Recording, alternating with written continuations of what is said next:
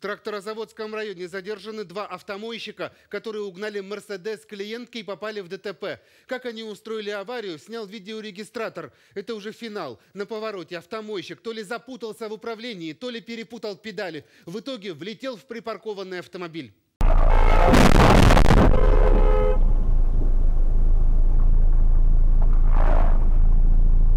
Позже выяснилось, в салоне «Мерседеса» были два парня. Одному 24 года, второму 26 лет. Работают автомойщиками. И этот «Мерседес» им не принадлежит. Клиентка привезла иномарку и оставила. А они решили покататься возбуждено уголовное дело по признакам преступления, предусмотренного частью 2 статьи 166 Уголовного кодекса Российской Федерации.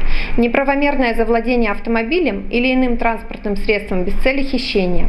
Максимальная санкция данной части статьи предусматривает лишение свободы на срок до 7 лет.